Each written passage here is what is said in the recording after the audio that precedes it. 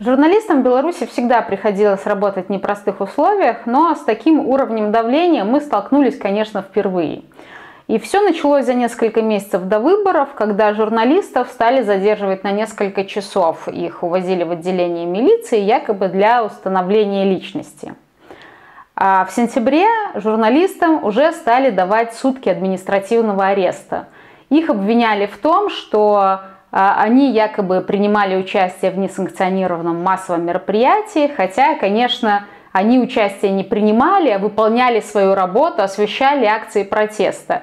А, на них были бейджи, на них были синие жилеты, у них была техника, и, в общем, всем было понятно, что это журналисты, которые делают свою работу, но судьи, несмотря ни на что, на основании показаний свидетелей э, из силовых структур, которые выступали на суде по видеосвязи а, с измененными личными данными и в балаклавах, а, судьи выносили решение о том, что журналисты виновны и давали им от 3 до 15, а то и 25 суток административного ареста. Ну а дальше дошло и до уголовного преследования. А, одна из них, журналист Тутбай Катя Борисевич, ее обвинили в разглашении врачебной тайны повлекшим тяжкие последствия. Все дело в том, что на Тутбай вышла статья о том, что в крови э, избитого и погибшего Романа Бондаренко не содержалось алкоголя. в то время как Следственный комитет и Александр Лукашенко утверждают, что он был пьян.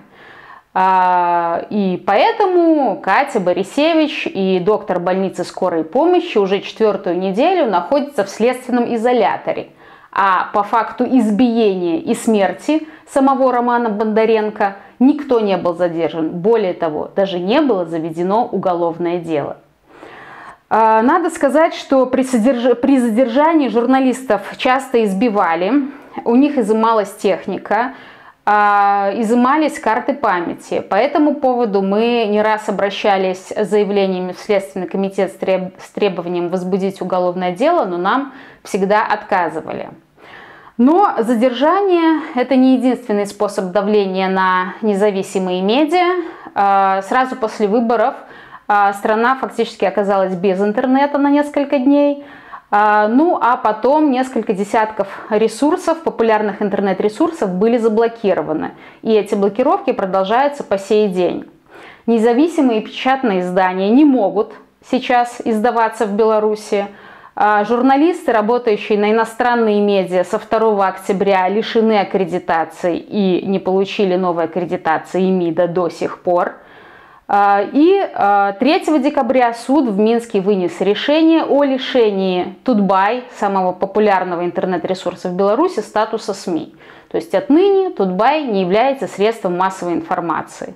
Это значит, что наши журналисты а, не могут, не могут считаться журналистами, но, естественно, это не мешает нам быть по-прежнему самым популярным интернет-ресурсом в Беларуси, не мешает нам по-прежнему выполнять свою работу, чем мы собираемся заниматься в дальнейшем.